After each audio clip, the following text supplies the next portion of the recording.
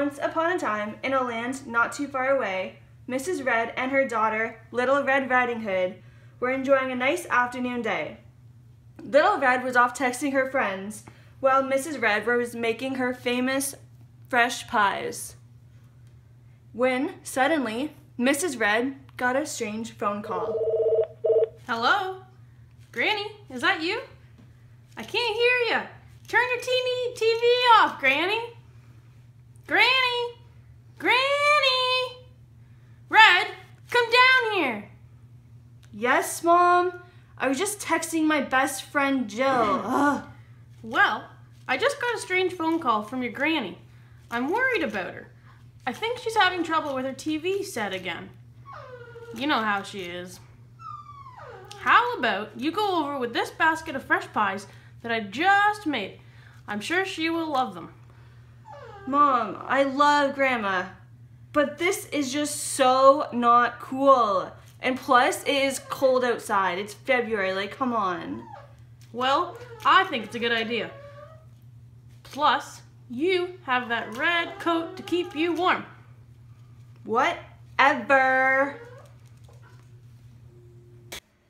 Reluctantly, Little Red Riding Hood made her journey to her grandma's house, which was just a short 20 minute walk away. La la la la la. What a nice day out. If only I had something good to eat. With Little Red and Wolf walking in their own little world, they did not realize they were about to collide. Ah! Oh my god! My phone fell on the ground! You need to watch where you are going, miss. Wait, is that pie? Well, well, you need to watch where you're going. I'm just a young girl out here trying to run to my grandma's house so I can go home and watch Netflix. Grandma's, you say? Pie? Just leave me alone. I'm listening to Justin Bieber. Gosh, uh. Well, she was rude, but those pies smelled so good. It's almost lunchtime. The wolf was very hungry after smelling the pies Little Red had and decided that he needed to get a hold of them. His nose knows best, of course. As the wolf was very nosy, he knew exactly where Grandma lived and the quickest way to get there. His plan was set. Little Red had finally made her eventful journey to Grandma's house. She was exhausted and couldn't wait until she had some of the delicious pies her mom made.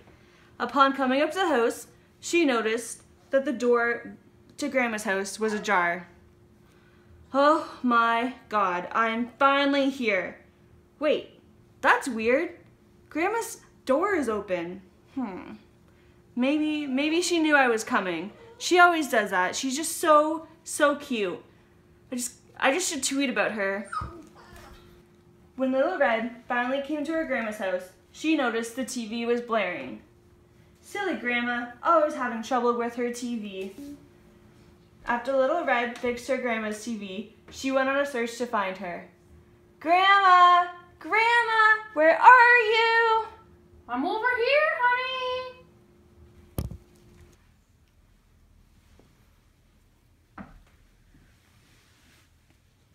Oh, Grandma, there you are. Huh, are you feeling okay though?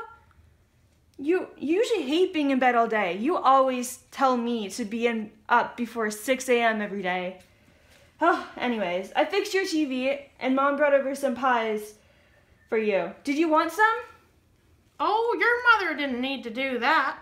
But yes, I want it. Okay, I'll get some. But Grandma, are you sure you're feeling all right? Your voice sounds kind of funny. Oh dear, it's just having to yell over the television blaring. That's all. Oh, well, that makes sense, I guess. But, Grandma, you do look different too. What big ears you have. The better to hear you with, my dear. Sometimes you do mumble. Well, yes, Grandma, but your eyes, your eyes are huge. The better to see your pretty face with, my dear. Of course, but, but, but your teeth, Grandma, they're so big. The better to eat you with, my dear! Ah! Ah! Ah! ah! At that moment, Little Red Riding Hood was trying as fast as she can to get away from the wolf. Get away from me and tell me where my grandma is. Just come here so I can eat you and those pies! You will never get those pies. Ah! Save me! Suddenly, Little Red's uncle, who happens to be a hunter, bursts through the door and kills the wolf. Ah! Oh my god! Oh my god! Uncle Hunter, thank you so much. You saved my life. You're welcome. I'm just glad you are safe.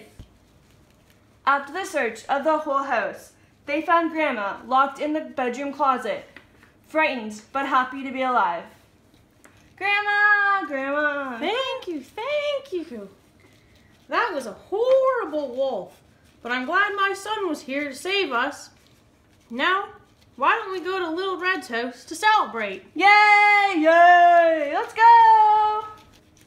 So that's what the Red family did. They ate pies and had wolf stew to celebrate the crazy day they had, and they lived happily ever after.